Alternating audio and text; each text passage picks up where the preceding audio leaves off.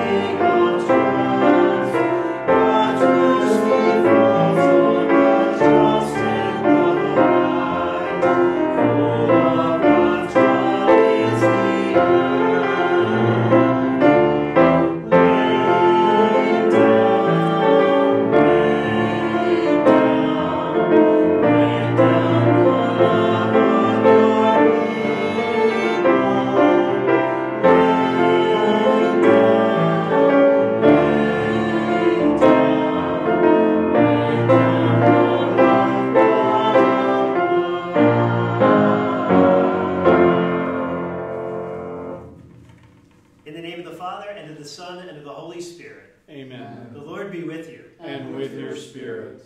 It's one of the only days it isn't raining down today, so it's wonderful to be with you here this afternoon here at St. Joseph's.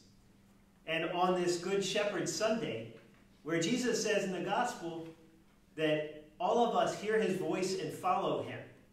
And we will follow him at this altar to receive eternal life spiritually through the reception of Holy Communion, which we will do here in this church, but also where you will do at home. So we will follow his word, we will follow his voice. But before we can, brothers and sisters, before we can walk with him to eternal life, even here on this earth, first we must acknowledge our sins and so prepare ourselves to enter into those sacred mysteries. You were sent to heal the contrite of heart. Lord, have mercy. Lord, have mercy. You came to call sinners. Christ, have mercy. Christ, have mercy. You are seated at the right hand of the Father to intercede for us. Lord, have mercy. Lord, have mercy. May Almighty God have mercy on us, forgive us our sins, and bring us to everlasting life. Amen.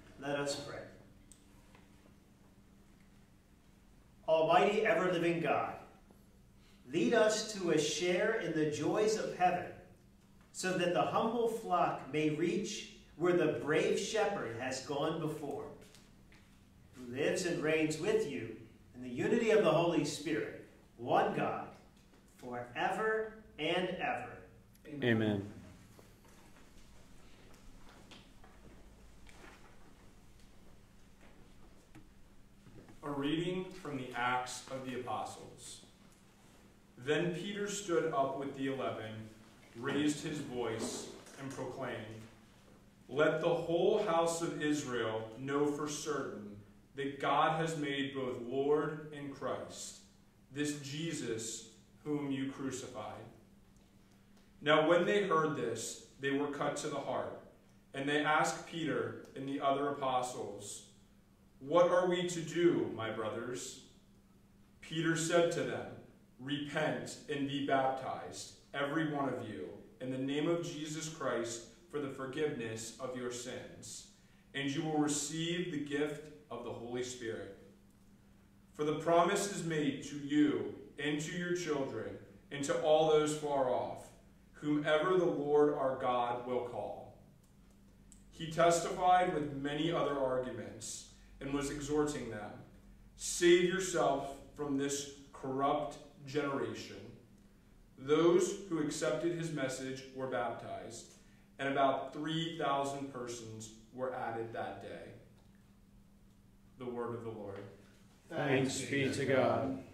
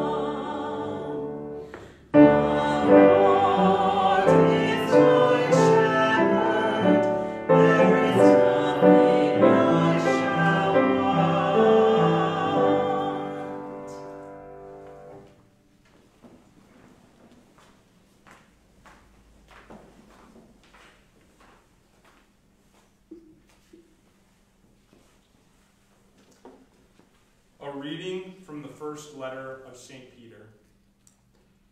Beloved, if you are patient when you are suffer for doing what is good, this is a grace before God. For to this you have been called, because Christ also suffered for you, leaving you an example that you should follow in his footsteps. He committed no sin, and no deceit was found in his mouth. When he was insulted, he returned no insult. When he suffered, he did not threaten, Instead, he handed himself over to the one who judges justly.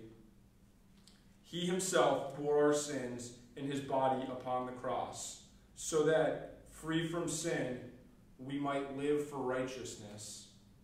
By his wounds you have been healed. For you had gone astray like sheep, but you have now returned to the shepherd and guardian of your souls. The word of the Lord. Thanks be to God.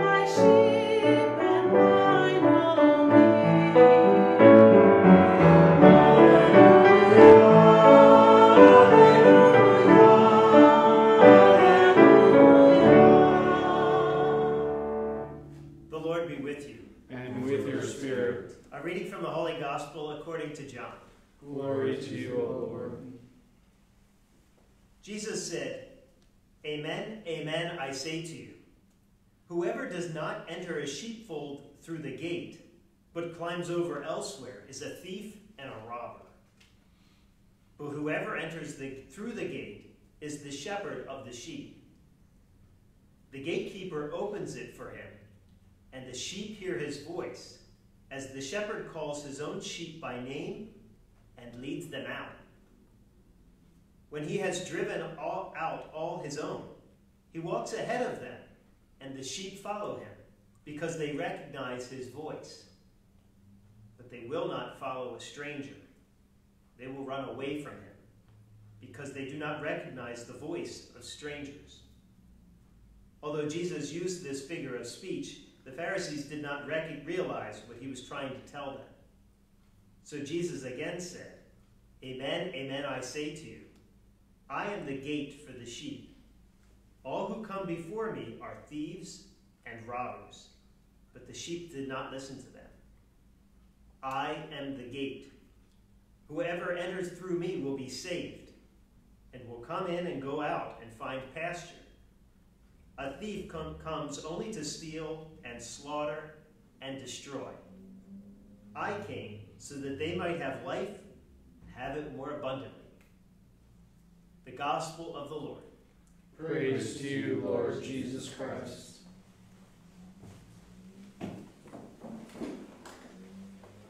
Are you familiar with baby cows, calves they call them? Uh, you'd think, oh, Father, what are you going to tell us about baby cows? Calves, sorry. Well, I grew up in Columbia, Pennsylvania, not really a farming community, and I worked in a junkyard. So I know very little about calves. Maybe you do too. But as I was preparing for the seminary, they placed us on a farm and this summer, this summer that I'm talking about, there were six of us who were preparing to be priests who were placed on a farm. The whole thing could have been comical. Uh, you remember that show, The Simple Life, with uh, two heiresses, I think? They placed them on a farm. This could have been the seminarians on the farm. But we were taking care of this uh, dairy farm, fruit farm, and we had to switch the pens. They're not pens, they were acres of land in which the calves and the cows were grazing every other day. And so we had to move the fence. And you also had to move the, the cows, which is not easy. So we were doing this, and we discovered that after we moved the fence, there was a calf missing. And, you know, you got to make sure the calf is in, or else it's in great danger. It had just been born the day before. But did you know this about calves? That as soon as they're born, within minutes they stand, and then minutes after that, they walk and then run. Like, it's unbelievable. Can you imagine a child getting up and just like running after it's born? It's kind of funny. I didn't expect that. So here's this we found the calf laying. And, you know, I approach it gingerly. I, what am I going to do? Pick it up? I didn't know what to do with it. I thought it was laying, couldn't move. It springs up and darts. It shocked me. So I go running after it. And I'm not slow. I'm not as fast as Father Osmond or Deacon Peruso. And Deacon, by the way, is doing very well. He's at home quarantining, but he sends his love to you. And he's in, you're in his prayers. But I went running after this thing, and uh, I made a turn, and just before I did, I noticed that I stepped in a pile of something, and I slid and fell in a pile of something, too, in my face. That's how it goes. I read, thought of that story today because as I juxtaposed that image of a bounding calf who runs all over the place and tries to elude capture, we have the sheep the sheep who follow the voice of the shepherd, the one who tries to corral them. And I do not relate at all. Do you?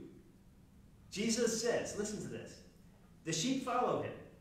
They do not listen to the voices of the others who try to lead them. They listen to me. That's what Jesus says. Well, I like to think I'm a sheep, but I don't always listen to Jesus. I go right after, you know, the thieves come in, I go right walk with them sometimes. Do you? I don't know.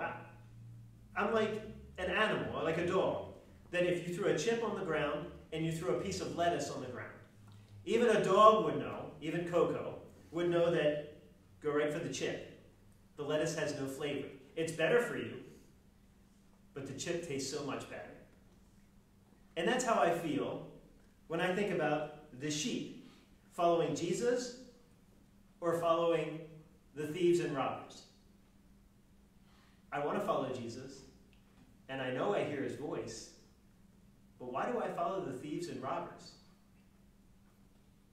They don't know the way I need to go. They know what will satisfy me for the minute. They know that will make me uh, satisfy my hunger for whatever it is that I want at that minute. But do they know where I need to go? They have no clue. Jesus knows the pasture for which those sheep need to go to. Those thieves and robbers know nothing. They guess.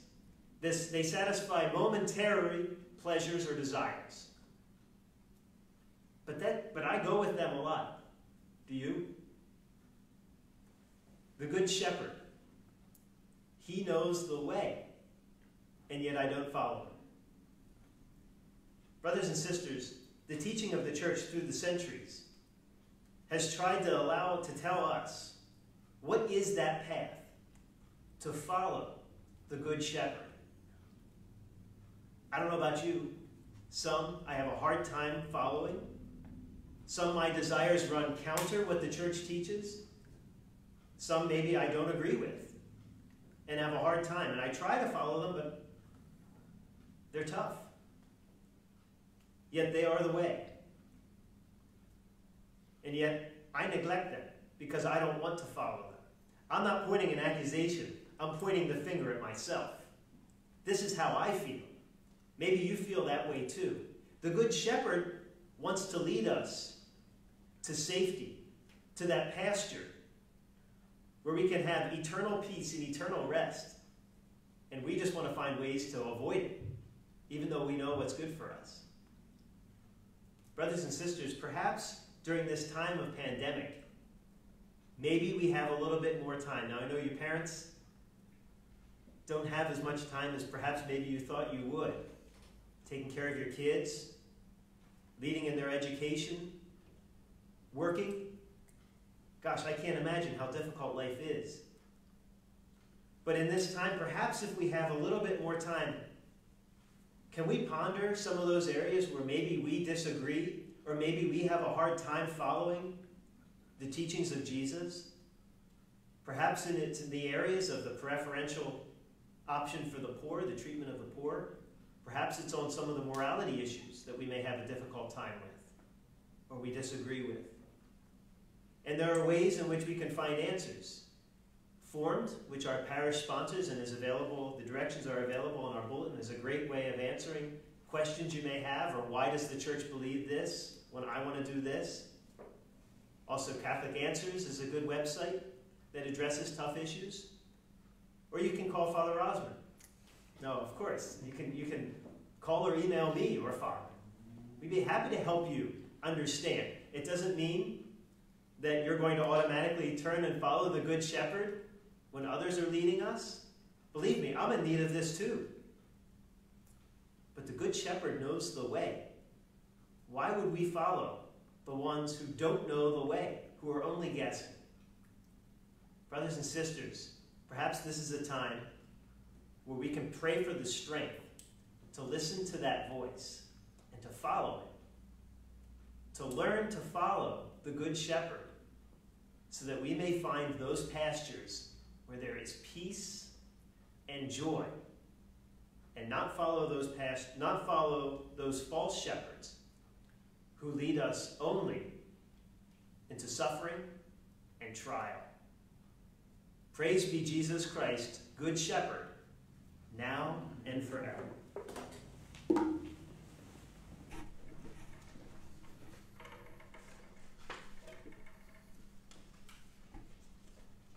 And now, let us proudly profess our faith. I believe in one God, the Father Almighty, maker of heaven and earth, of all things visible and invisible. I believe in one Lord Jesus Christ, the only begotten Son of God, born of the Father before all ages, God from God, light from light, true God from true God, begotten, not made, consubstantial with the Father. Through him all things were made. For us men and for our salvation, he came down from heaven, and by the Holy Spirit was incarnate of the Virgin Mary and became man. For our sake he was crucified under Pontius Pilate. He suffered death and was buried, and rose again on the third day, in accordance with the Scriptures. He ascended into heaven and is seated at the right hand of the Father. He will come again in glory to judge the living and the dead, and his kingdom will have no end.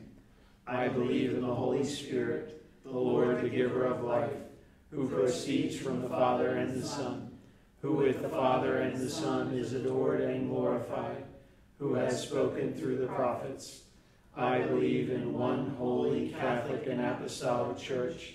I confess one baptism for the forgiveness of sins, and I look forward to the resurrection of the dead and the life of the world to come. Amen. Through Jesus, the shepherd and guardian of our souls, we offer these requests to our Heavenly Father. Our response is, Lord, receive our prayer. That the Good Shepherd may raise up in the church during this time of pandemic those who will lead with courage and serve with love. We pray to the Lord. Lord, receive our prayer. That leaders of our country and in the world may work together for the destruction of this virus. We pray to the Lord. Lord, receive our prayer. Through the intercession of St. Joseph the Worker, whose feast day was Friday, may all of those worried about their jobs or income find peace in this chaotic time. We pray to the Lord. Lord, receive our prayer. That those who are being called by our Good Shepherd may have the courage to follow and an openness to welcome all others who hear his call. We pray to the Lord. Lord, receive our prayer. For all the sick, for all the sick, especially those suffering from COVID-19, but also those suffering from other illnesses at this time. Also, we remember all prayers offered by viewers of this Mass to the comments on Facebook live stream. We pray to the Lord. Lord, receive our prayer. For our beloved departed, especially Elmer Rolla, William Yuknek, Bart Devlin, Father Clarence Olszewski, Marjorie Walsh, Raymond Bolster, Rose Rickasack, Christian Rodman, John Forehand, and the people of the parish, both living and deceased, whom we remember at this Mass today. we pray to the Lord. Lord, receive our prayer. Heavenly Father, you sent your Son so that we might have life. Please hear our prayers in this time of pandemic so that we may share an abundant life in this world and in the world to come through Christ our Lord. Amen. Pray,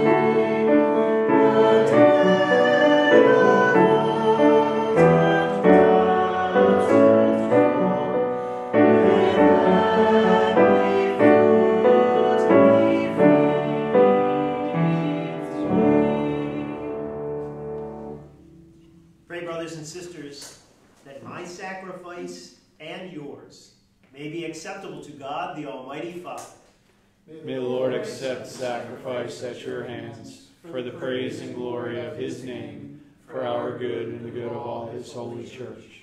Grant, we pray, O Lord, that we may always find delight in these paschal mysteries, so that the renewal constantly at work within us may be the cause of our unending joy through Christ our Lord. Amen. The Lord be with you. And with your spirit, Lift up your hearts. we lift them up to the Lord. Let us give thanks to the Lord our God. It is right and just. It is truly right and just, our duty and our salvation, at all times to acclaim you, O Lord, but in this time above all to laud you yet more gloriously, when Christ our Passover has been sacrificed. For with the old order destroyed, a universe cast down is renewed, and integrity of life is restored to us in Christ. Therefore, overcome with paschal joy, every land, every people exults in your praise, and even the heavenly powers with angelic hosts sing together the unending hymn of your glory as they acclaim.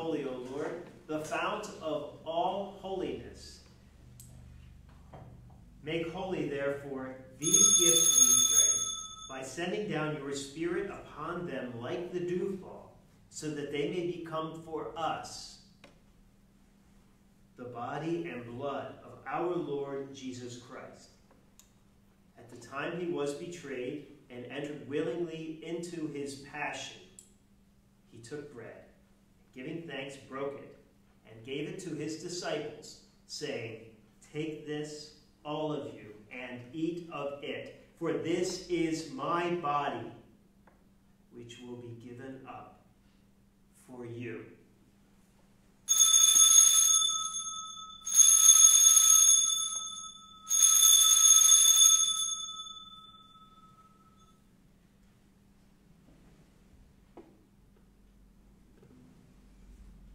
In a similar way, when supper was ended, he took the chalice, and once more giving thanks, he gave it to his disciples, saying, Take this, all of you, and drink from it, for this is the chalice of my blood, the blood of the new and eternal covenant, which will be poured out for you and for many for the forgiveness of sins. Do this in memory of me.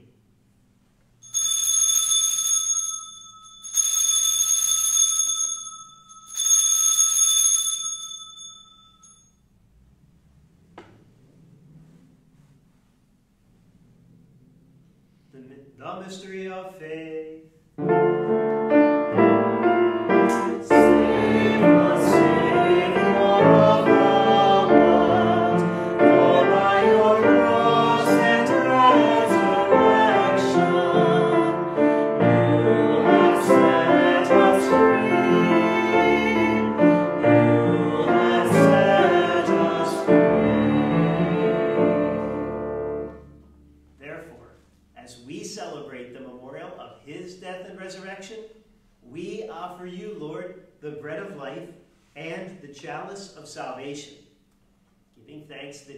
Held us worthy to be in your presence and minister to you.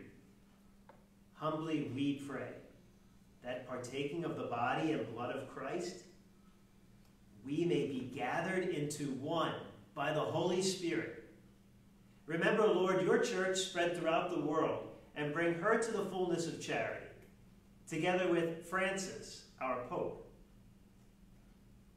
and Ronald, our Bishop, and all the clergy. Remember also our brothers and sisters who have fallen asleep in the hope of the resurrection, and all who have died in your mercy. Welcome them into the light of your face have mercy on us all, we pray, that with the Blessed Virgin Mary, Mother of God, with Blessed Joseph, her spouse, with the blessed apostles, and all the saints who have pleased you throughout the ages, we may merit to be co heirs to eternal life, and may praise and glorify you through your Son, Jesus Christ. Through him and with him and in him O God, Almighty Father, in the unity of the Holy Spirit, all glory and honor is yours forever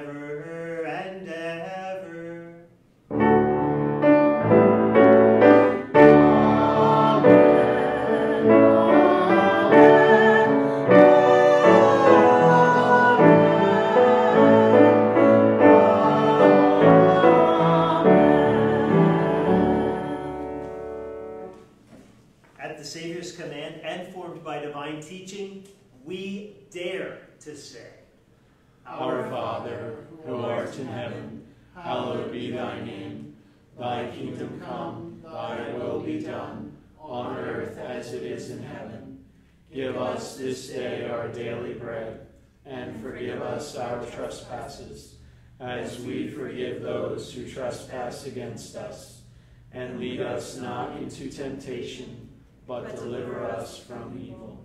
Deliver us, Lord, we pray, from every evil. Graciously grant peace in our days, that by the help, help of your mercy, we may be always free from sin and safe from all distress, as we await the blessed hope and the coming of our Savior, Jesus Christ. For the kingdom, the power, and the glory are yours, now and forever. Lord Jesus Christ, who said to your apostles, Peace I leave you, my peace I give you. Look not on our sins, but on the faith of your church, and graciously grant her peace and unity in accordance with your will, who live and reign forever and ever. Amen. The peace of the Lord be with you always. And with your spirit.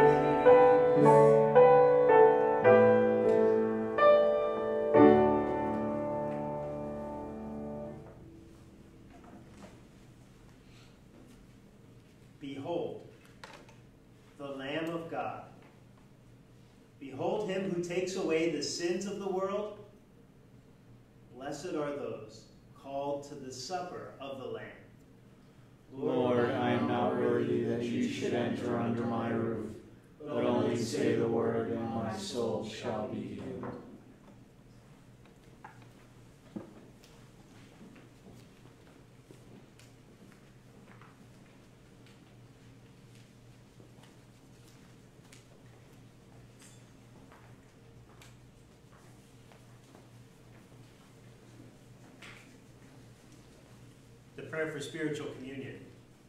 My Jesus, I believe that you are present in the most holy sacrament. I love you above all things, and I desire to receive you into my soul.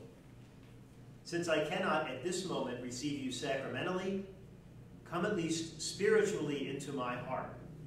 I embrace you as if you were already there and unite myself wholly to you. Never permit me to be separated from you. Amen.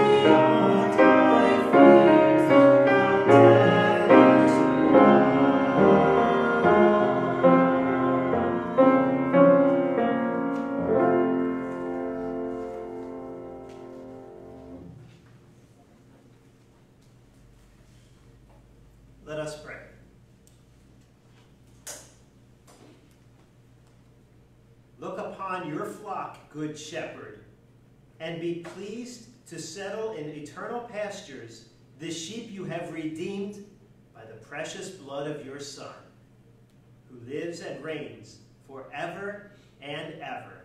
Amen. It was wonderful to be with you today to worship our Good Shepherd, who above all died and rose for us so that we could join him. And we did that right here at this altar. So it was a great joy to be with you. Look forward to being with you next week. And now let us pray the prayer to St. Michael that is found, I was going to say as if we were in church, that is found on the inside cover of the hymnal.